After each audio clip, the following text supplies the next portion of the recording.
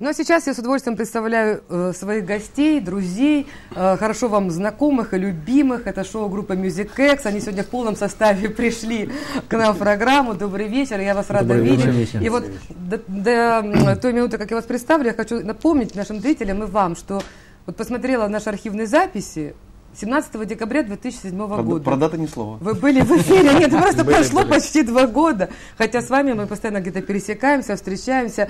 Э, Олег Дорохин, вот начну по порядку, да, чуть дальше ты сидишь, заслуженный работник культуры Украины. Уже. Э, Уже. Еще поздравим его отдельно. Ивкун Васильев, заслуженный артист Автономной Республики Крым. И артисты этого театра э, Денис Строителев, э, э, Львов Виталий, Дернов Дмитрий, это уже известные всем нашим севастопольцам. И вот новый человек появился в группе, он сидит вот здесь как раз по центру, вы так его опекаете. по центру. Это Вадим. Шестаков. Вадим Шестаков, с некоторых пор тоже, да, артист э, шоу-группы Music X. Я вас поздравляю, кстати, вот с этим званием. Ну, а вообще, конечно, я хочу поздравить тебя, Олег, потому что это почетное звание тебе присвоили и в числе других артистов, а мы в каждой программе поздравляем по очереди различных артистов севастопольцев, которые недавно получили вот такие э, звания указом президента Украины. Я надеюсь, что и другие ваши артисты должны получить тоже заслуженные более высокие Все. звания. Тоже. Хотя, как говорят, что самое главное звание, признание публики вы уже получили давно, и вы вот так почетно это несете. Я вам вот желаю и сохранить эту любовь. Но, к сожалению, вот жизнь да, вносит свои коррективы. Мы сегодня, в общем-то, собирались поговорить о концерте, о новой вашей программе, которая должна была пройти 7 ноября на сцене Севастопольского центра культуры и искусства. В день 7 В ноября. день 7 ноября. И вот такое название веселое нам все равно. И вспоминается вот старые праздники, наши демонстрации. Я думаю, ну как здорово, что мюзики, как мы ласково называем, к этой дате, конечно, они решили сделать такой подарок всем горожанам. Но вот, к сожалению, вот такая ситуация. Эпидемия калифорнийского гриппа. Вы знаете, что объявлен карантин в школах, в садах, и в вузах, все его родители. И запрещены сейчас все мероприятия, концерты, спектакли, собрания в целях профилактики.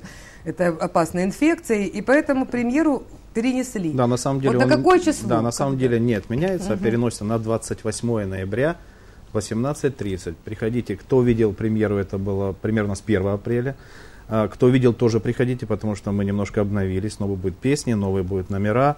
28 ноября 18.30. Дополнительно еще будет информация. Мы ждем. как раз вот я так отчитал, это ровно три недели. Да.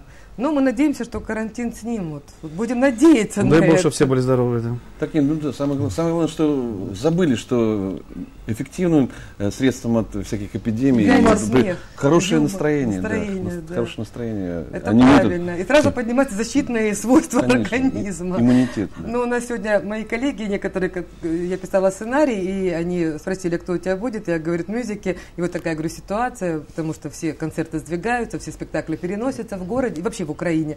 Они сказали, а пусть они в масках, вот в масках, все зрители придут в масках, и они в повязках, и продемонстрируют такую толерантность вот со всеми, кто э, борется с этой инфекцией и так далее. Я говорю, ну это любопытная идея, конечно. Э, Тогда надо было еще в перчатках всем да, резиновых выступать. Так, и все, все остальные средства не будем перечислять. Вот э, еще раз, может быть, так это в связи с тем, что сейчас все думают об этой проблеме, о гриппе, и мы об этом, вот видите, говорим, хотим или нет. Э, Как-то, может быть, мимо ушей многих зрителей прозвучало это вот СЦКИ, хотя вас всех привыкли видеть в матросском клубе, да, это была ваша площадка очень много лет и так далее. Что произошло? А произошло, я знаю, там... Сокращение на входе Сокращение, произошло, да, да, и- и нас любезно вот э, предоставили помещение. Любезно Любез- попросили. Да, и попросили, любезно предоставили э, помещение в Севастопольском центре культуры и искусства. Это вот Игорь Анатольевич, Татьяна Викторовна. Пошли нам навстречу. Приютили При- вас. приютили, ну как, мы теперь Ну. уже муниципальный коллектив являемся, да? В общем-то, в принципе, у нас, это у нас спасибо, дав- да. давно были Да. э, рабочие отношения, очень хорошие, рабочие, дружеские. А сейчас просто у нас еще и вот уже мы городской коллектив.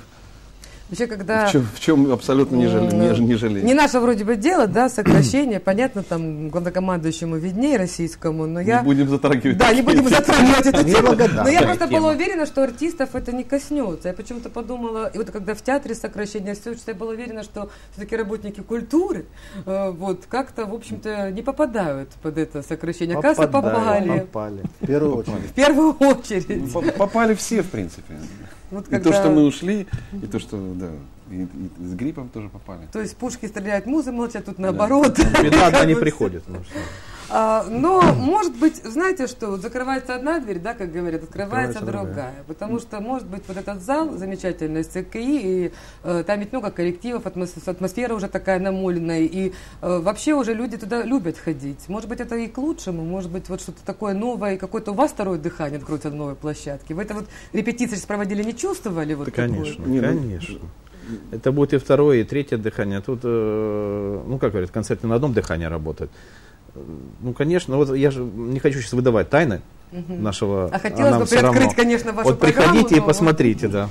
Ну, вообще, м, Наташа, обы- обычно, да, вот самые сложные ситуации, они э, мобилизуют э, как-то внутренние резервы, и получаются какие-то ну, там, неожиданные э, как, как идеи. э, а когда они возникают? Именно тогда, когда Когда трудно, э, когда какая-то когда вот сложности, такая как, ситуация, м, Чтобы преодолеть, вроде как-то э, простые ходы должны быть, ну а э, посидев, по- подумав, вот мы можем сочинить То есть вариантов-то было всего два. Либо продолжать где-то на другой площадке, да, это делать, либо просто разойтись, в общем-то, да. это- Нет, ну разойтись Ну, это, разойтись это это нет, не- невозможно. А то, что э, правильно, что в общем-то мы давно уже в общем-то намечали. В общем-то э, сокращение как таковое, но это не является э, именно причиной нашего перехода э, в Севастопольский центр культуры.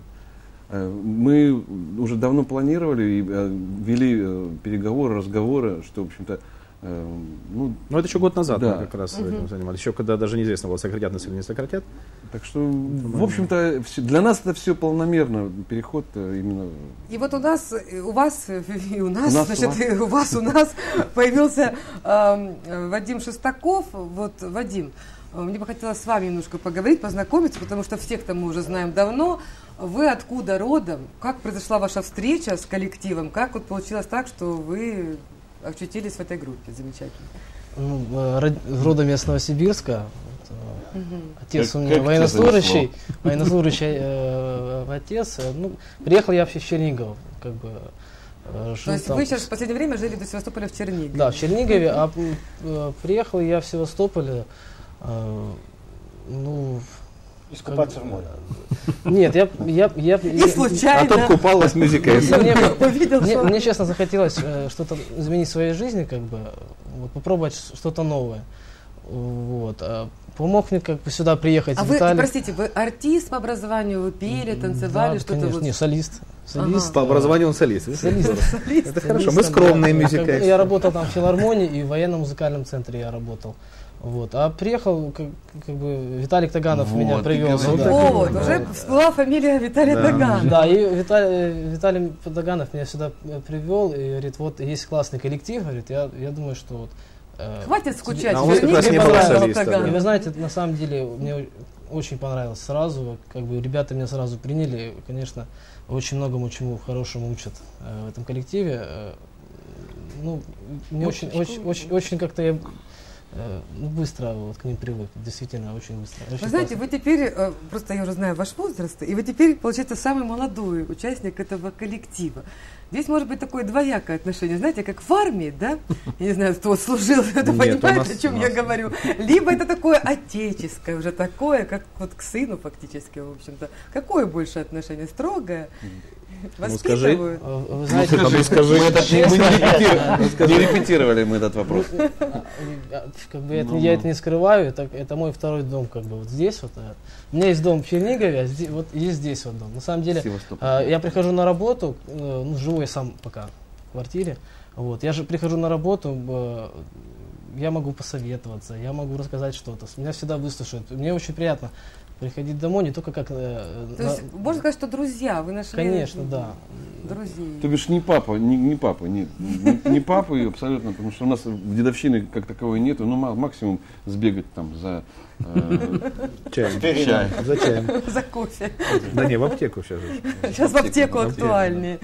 А, Вы знаете, вот я просто не спрашиваю, как у вас встреча с Тагановым произошла, но я знаю, у них- у него с Черниговым тоже много связано, что, думаю, не случайно. Но получается, что вот такая цепочка, да, и ничего случайного в жизни, она привела все равно в Севастополь человека, да, э, Вадима, и я желаю просто успеха, потому что э, Спасибо. получается, что вот этот спектакль, ну, который переносится по понятным объективным причинам, это ваш первый, да, выход на севастопольскую сцену, да?